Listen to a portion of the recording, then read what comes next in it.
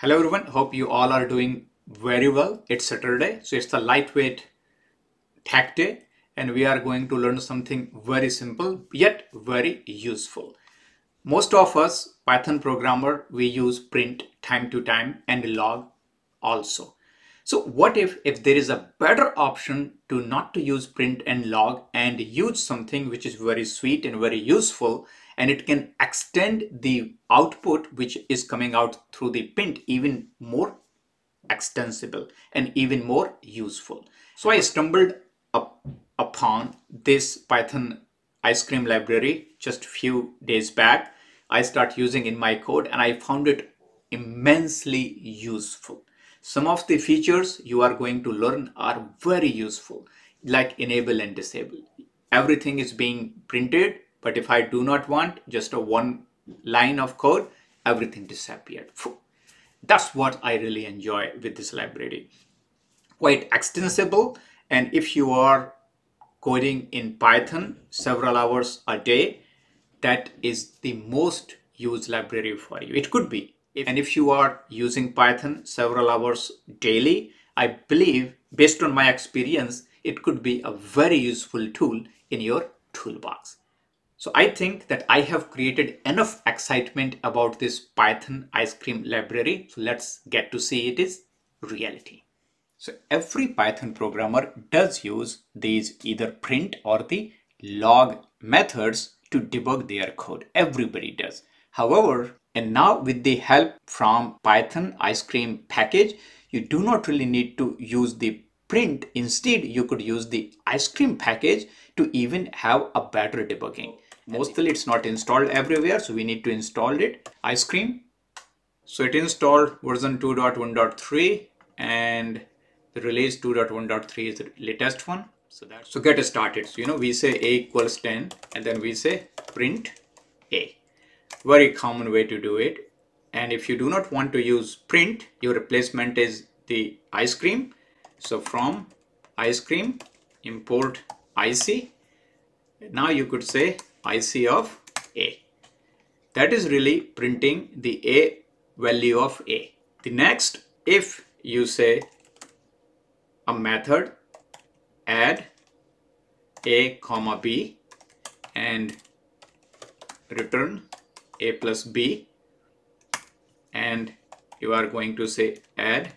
So if you say print add 1 3 you are getting 4 however if you take the same syntax and replace with the ice cream so every time when you are going to apply the ice cream remember you are always going to get the expression and its value versus when we are using the print you only get the value so always in your it's very handy for you to get the expression back for the value you would want to print. Now I have created this code block. So here are three methods, first, second, third, and they return first, second, third. And I have created another function called foo, and it just takes a variable, sets something, and based on if it is value, it just prints something. So let's run this, let's run this. Now if we call foo, depending on your code execution whether you're gonna get print this or print this but if a is first then execution order has been changed so this is what you are getting to know which particular block of your code was executed.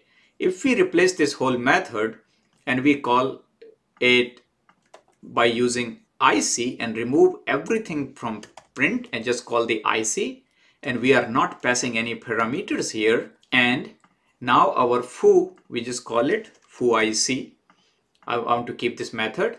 That's our foo ic and if we call the foo ic it shows that within this code block because this is the ipython cell so based on that in the line number 2 it prints and in the line number 5 it prints if you will change this to rather than first now you call it third here, if you change it, now its execution is the first IC and the line number 8 IC.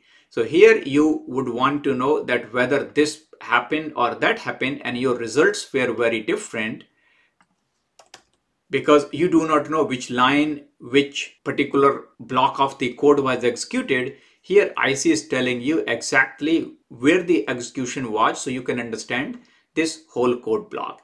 Now we take the same understanding and look into a Python file because most of the time your code is actually sitting into Python file, not in Jupyter Notebook. Here I have a test file named IC test. We are importing the ice cream. Here is the first method, second method, third method. Here we have created the foo, which is similar to previously created function in Jupyter Notebook cell. And here is the foo IC. Let's perform the foo first save it, run it, you are getting 0 and 2. Now if we take and perform the foo IC, now you are getting that in this given file, the line number 28 had the execution and the line number 34 had the execution. And it was at this given time. So you have a lot more information available by using the ice cream method rather than using the print. One more thing we can learn at same time that you could actually disable or enable. So if you uh, you would want to disable all the ice cream results, you could say ice cream disable and by using this ice cream disable, if you run the same code, you will not see any output. Whenever you would want to enable, you could just say enable it and all the results are coming back to you. So this is one really very good way to write the code embedded with IC. However, at the very top when you are running you can enable or disable that's one really great things about using this ice cream one another really great aspect of ice cream is that you do not really need to call the ic in every file. So for example let me create the another file ic test2.py and here we are importing this method foo ic in here. So from ic test import foo IC. Now we can call this foo IC here and let's comment this here and we are going to use the IC test 2. So our code is working. Now we can say IC and we can use here and now we want to use IC but this code is not going to work because IC is not available and the solution is if we do not know that we need to import here. But the simple solution is that we do not need to call the IC everywhere. We don't need to import the IC everywhere because in print we do not import the print. So in order to have the parity, the simple option is that we could say from ice cream, import, install, and what you do, you actually just perform the install at the very top or the where your code starts you take the install and now your IC is actually working now. So even we haven't imported the ice cream in test 2, however, we are still ready to go and launch our IC. So when we call IC, we are calling this foo IC in the IC test. However, now we have full understanding is that this method is executed in the current file versus this particular method which was used inside the IC was running in a different file. So the file context is changed. Now let's look into the third part where we will learn how to configure our output.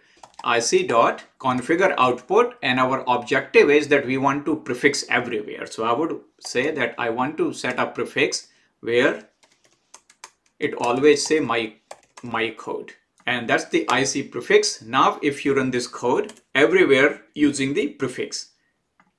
If you do not want to set up the prefix a text, you could want to use a timestamp or something. You can define a method and that's your timestamp and you could actually use prefix as this. Now let's run the test 2. Now you are getting a timestamp too. So if you do not provide the prefix, the default prefix is IC. So you could replace this default prefix by using your configure output and by providing your own custom prefix. There is another option for you to configure your output by adding an output function. For example, if you'd want to incorporate the logging option, so let's import the logging and we are creating a method called warn as and it is logging dot warning and whatever is being input, it's render as string out. Now in the IC, we would want to config the output function and it is going to use this var. Now let's run the IC2. Now you see here that it's still using our prefix, but it's using the warning which is coming out from the logging and rest is the same. There is no change. So by adding the prefix in combination with output function, now you have changed your logging details in your Python code. Sometimes it is possible that you would want to handle the non-standard data types using a custom method. And in order to handle that, there is another config output option that is called the argument to string function. Argument to string function and you can pass your own method here.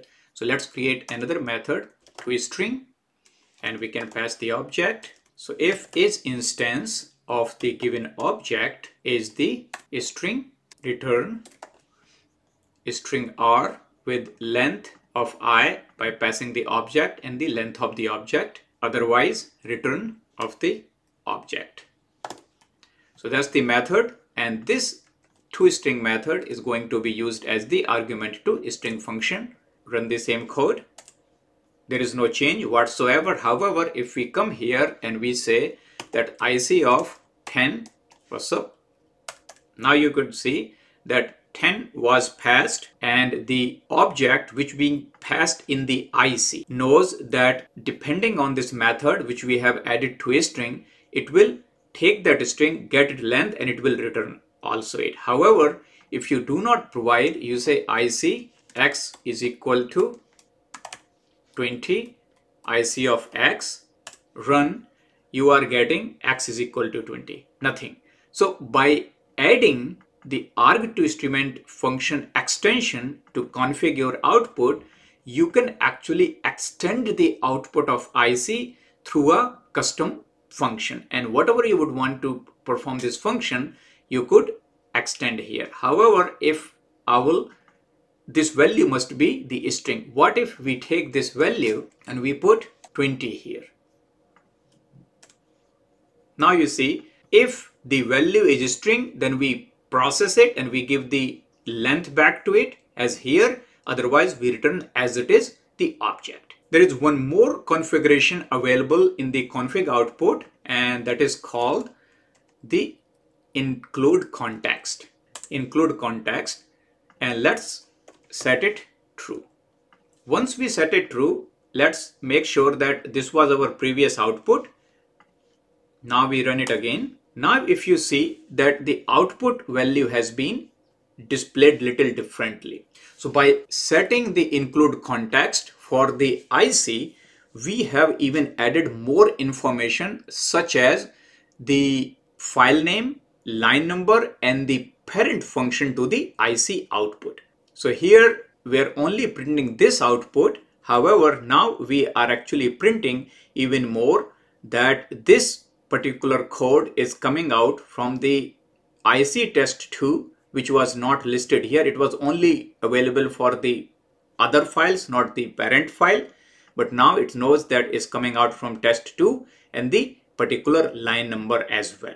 And if you would want to make it even more extendable, you could actually use the absolute path, context absolute path and true. So by default, these both values are false. Once you add the context absolute path true, and if you run the same code, now you are going to get the full path of the file. It really adds up a lot more information. However, if that is what your objective is, you could enable it. Or if by default it is disabled, as you could see, ice cream comes with a lot more configuration and some of these configurations which could extend your debugging and I would suggest you that if you haven't started using the ice cream with Python, it is your time. Enjoy ice cream. So that's where I will leave you. It's up to you whether you would want to use Python ice cream library or not, but I found myself it's really very, very useful just by using in last few weeks. I'm thankful for your time. I do appreciate it and I'm looking forward to seeing you in my next video. Until then, thank you so much.